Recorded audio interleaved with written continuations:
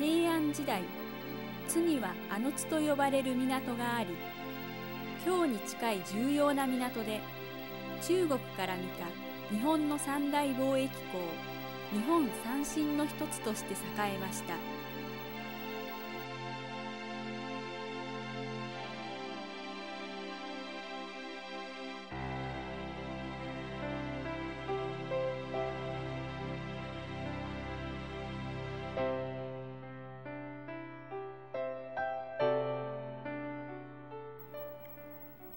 町時代に入ると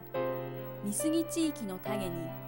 伊勢国市北畠市が城下を形成しました。人口1万5千人を超える当時の大都市であったと考えられます。現在北畠氏が本拠を置いた城下跡が残り名称の北畠氏館跡庭園や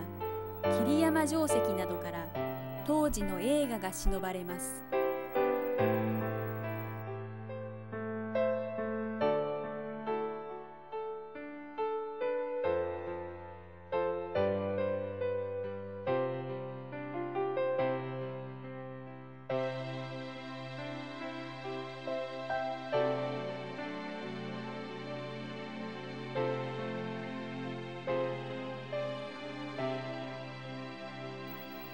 江戸時代には